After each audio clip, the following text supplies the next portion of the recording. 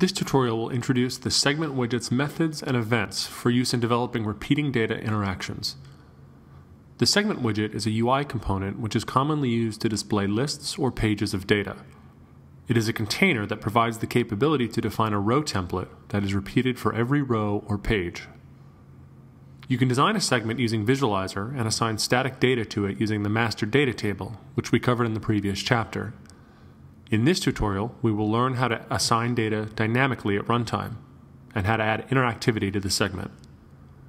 This tutorial requires Kony Visualizer 2.0 or above. We will take the app designed in the previous tutorial as the base and enhance it to use these APIs. Let's start by understanding how to add data in a segment using the setData API. When you set new data using this API, the existing data will be replaced with the new data. The data is a JSON array with sections and rows, as you can see as seen in this example. While setting the data, you can specify the row and the section template to be used to render the data on the screen. However, not all segment widgets require the use of sections. It is always recommended to not set more than 50 to 70 rows of data on a segment at a time. One should add the new set of data onto the segment once the user starts interacting or scrolling. We can make use of the addAll API of the segment widget for this purpose.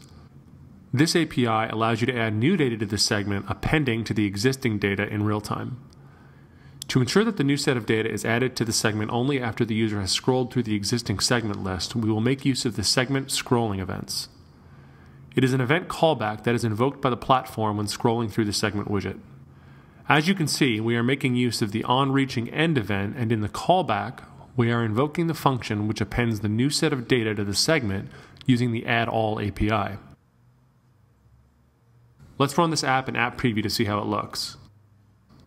As you can see, our app displays the data which we have assigned using the setData API, and on scrolling, it is appending the new set of data in real time using the addAll API. Now let's see how to read and modify existing segment data. We have a form which has the details of a contact, and we would like to link this form to our contact segment so that on selecting a particular contact, you can see the details. To do this, we will make use of the onRowClick event of the segment widget. On this event, we would like to do two things. First, determine which row has been clicked and read the data. And second, navigate to the contact detail form with the details of the contact populated from the selected row. To retrieve the selected row, we need to pass the row number and section number to the callback function of the onRowClick event.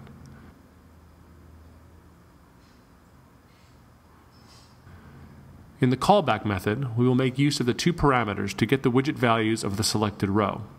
We will use this to fetch the data from this particular segment row and assign it to the contact detail form. We can also modify and delete a particular segment record. On the contact detail form, we have the edit and delete buttons.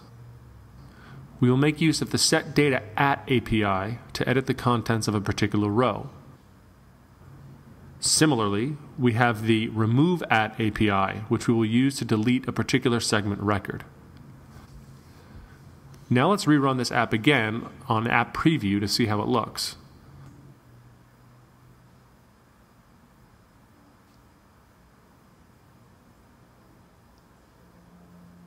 Notice that when I select the Delete Contact button, the segment record is deleted.